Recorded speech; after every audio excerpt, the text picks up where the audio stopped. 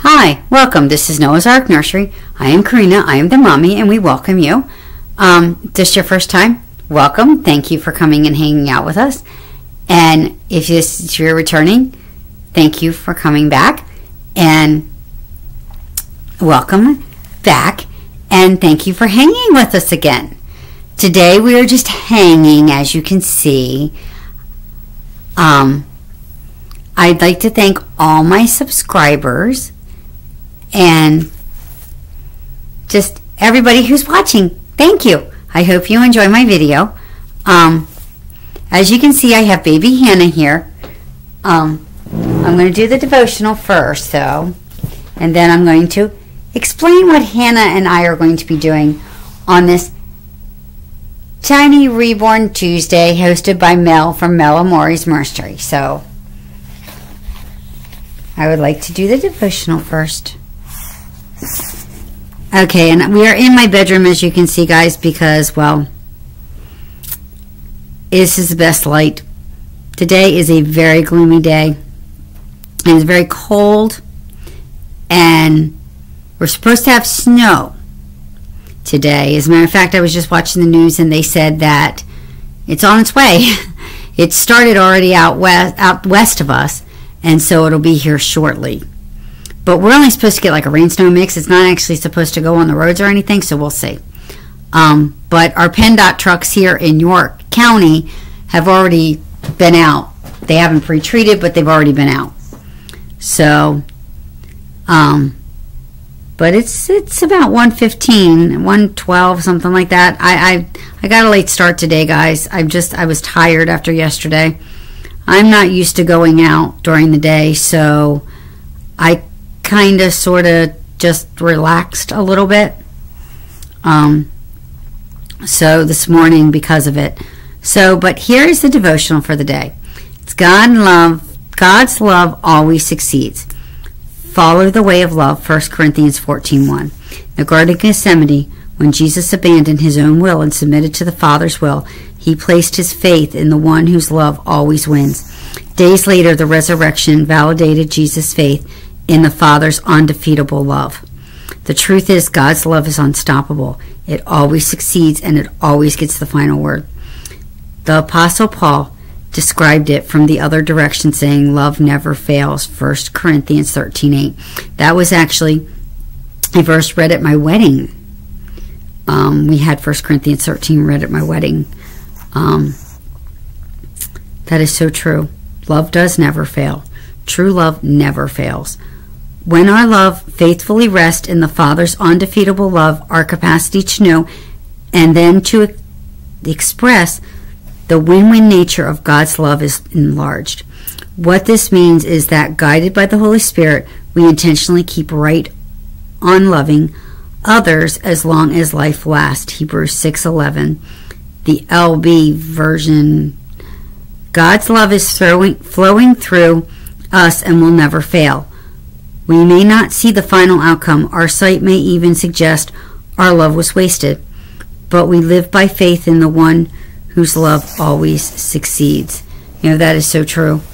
Um, I, I, know in my own life, you know, I have two sisters that I love, but I don't know if they love me back or if I'm ever going to see their love back. Um, I, I'm, you know, I've seen time and time again with just, you know, in churches in general. You know, they say they love you, but then you don't really see it back. Um, you don't see it. But with God's love, you see it. You might not see it, see it, but you see it. That's hard to explain. Um, you can just look at your life, just look at daily things. You can see God's love all around us. Um, even today, when it's gloomy and it's getting ready to do the thing that I hate the most snow. I do not like snow. I despise snow. I always say that it is better to watch snow from your living room window than to have to be out in it, which I am very blessed in the fact that I don't have to be out in it, guys. Um, and it is very cold here today. As you will see by Hannah's outfit, it is very cold. Um, but we just, you know, we have to look at God's love as it, it's unconditional and it's undefeatable. Nothing can win against God's love. Nothing. Nothing. Absolutely nothing can defeat God's love for you. I, sometimes we feel like, you know, God, you don't love me. And, I mean, look at the circumstances. You know, you don't love me, yet He's loving you through that. And He he wants you to know that no matter what you're going through, you know, I'm getting ready to celebrate the year anniversary of going through one of the roughest times in my life. I thought being abused was a rough time, and it was. I thought my husband's cancer was a rough time. Then I faced last year when it looked like I was defeated when it looked like I was done. God pulled me up.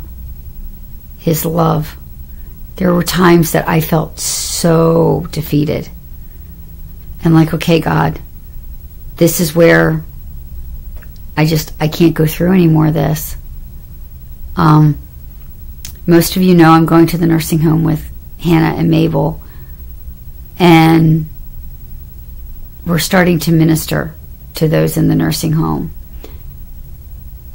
I came to the decision that I wanted to do that. Way back when I was in the nursing home, I saw a lot of people who felt like God didn't love them anymore and like they were defeated because their family members just didn't come to visit. And, you know, they felt very unloved.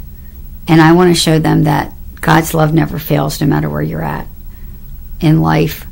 Um, circumstances. And we're back to circumstances. You know, back to walking by faith and not by sight. Sometimes you have to walk by faith and not by sight. You know, I thought God had abandoned me when I got to that nursing home. But he hadn't. I was walking by by faith know, I had to learn how to walk by faith. Um, it's it's how do I put this? You know, God loves us no matter what, no matter what we're going through. I know way back when I was being told as a child, God doesn't love you. You're a horrible child, and God doesn't love horrible children like you. I mean, I now know that was my abusers telling me that trying to put the blame on me rather than themselves. But it still hurt, and I still believed it. I believed for a long time that God did not love me. Every time I start to feel that way, the Holy Spirit reminds me that Jesus Christ gave his life for me. That is the ultimate, the ultimate show of love. The ultimate gift of love is what Jesus did on the cross. So, you know, he did not want to go to that cross. If Jesus would have had his way, he wouldn't have. But in the Garden of Gethsemane, he said, Father, not my will, but your will be done. And it was the Father's will. Father did not want to turn his back on his son. No parent wants to turn their back on their child. But he did. And that is the ultimate show of love. the ultimate show of love for us. So I hope if you're out there today and you don't know Jesus, that you will come to know Jesus as your Savior. Just accept His love. There's nothing like having His loving arms around you. Once you accept Christ, you'll have the Holy Spirit to seal you, and God will say, "You are mine." I know we just did that in I just did that in my lesson this morning. You know where I am very grateful and I am thankful that the day I accepted Christ as my Savior, way back when I was a child, He said, You are mine, and I am reserving you for myself.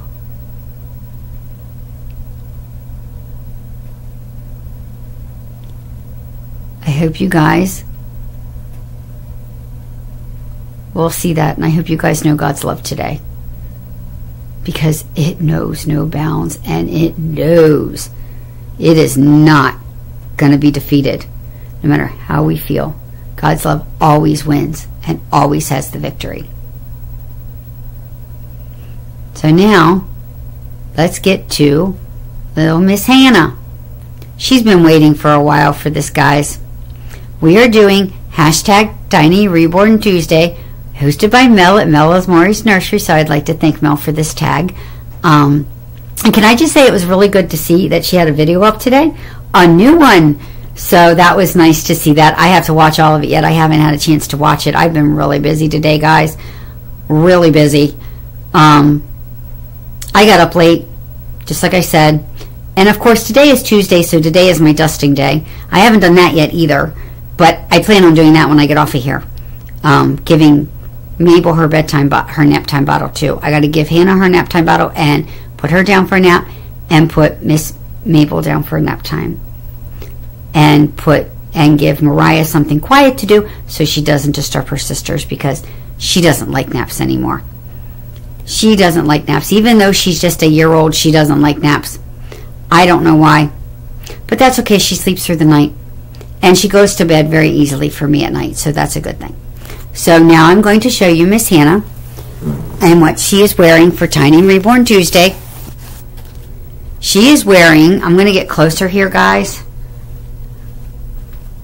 because I do want to be closer to her, because I got to give her a bottle anyway. This is Miss Hannah. She is a Ashton Drake, Linda Murray, Katie Cousin Breeze, Breeze doll. Um, baby, I should say, because I don't consider my dolls dolls. They're my babies. Anyway, she is here in a Carter's newborn. This is a fleece Christmas outfit. It's got all the Christmas flowers, as you can see, the poinsettias, and the little holly here, and it's really a warm outfit. It's got snaps up here, and of course, this the pants to go with it, as you can see. She has on her white Carter socks with it. I could have put black on with it, but I thought white today. But then she has her little headband to match it, her red headband with the bow in her hair. And then she's got this My First Christmas Lovey doll. This is a Lovey doll. I got this at Burlington, but I can't remember what it came with. I think it came with a bunch of bibs. I can't remember could be wrong. It could have come with the Winnie the Pooh stuff too. I can't remember. But this came with something. But I can't remember what it came with now. But she, of course, has her passy. I actually lost this. If you guys can believe this, I actually lost it. It was supposed to be clipped to her, and it did not want to stay clipped to this outfit for some reason. And so I kind of had problems with it. I actually almost lost this passy clip, and this this she treasures because this is from her Auntie Tammy over at My Reborn Nursery. Thank you, Auntie Tammy, for the passy clip because it keeps the pacifier on. And so Hannah is going to take her nap time bottle because as you can see, she's getting a little tired. I have her nap time bottle over here. As you can see what time it is, our clock is actually running fast. Our clock runs 20 minutes fast, guys. That's the only way we get up in time for him to go to work. Um, as you can see, she's up against my Merry Christmas pillow, which you guys will see more in my Christmas, um, my Christmas thing. But I have her nap time bottle here, and of course her bib. I think I'm going to feed her without holding her today. Usually I hold her, but I know Hannah Banana. Come here. Come with mommy. She's going to come over here and I'm going to feed her really quick. Don't ask how I'm doing this, guys. I have got to get myself a tripod for this. I know I keep saying I'm going to, but I never do.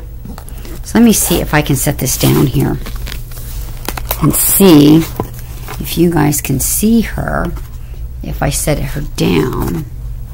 If I set it down, if you guys can see her.